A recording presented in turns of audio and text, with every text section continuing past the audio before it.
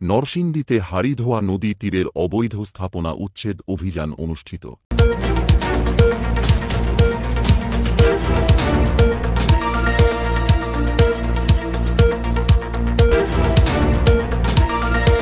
হাড়িধোয়া নদী দখল ও দূষণ রোধে অবৈধ দখলদার উচ্ছেদে অভিযান পরিচালনা করেছে নরসিংদী জেলা প্রশাসন। সোমবার সকালে সদর উপজেলার সোনাতলা এলাকায় নরসিংদী সদর উপজেলা সহকারী কমিশনার ভূমি মেহেদি হাসান কাউছারের নেতৃত্বে এই উচ্ছেদ অভিযান পরিচালনা করা হয়। এ সময় অভিযানে বরফ কারখানার সিরিসহ টিনশেড, বিল্ডিং ও দোকানের অংশ বিশেষ উচ্ছেদ করা হয়েছে।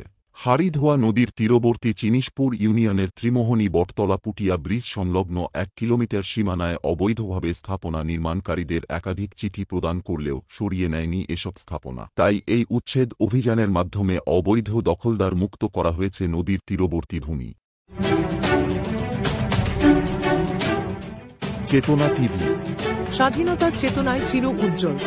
আমাদের সঙ্গেই থাকুন।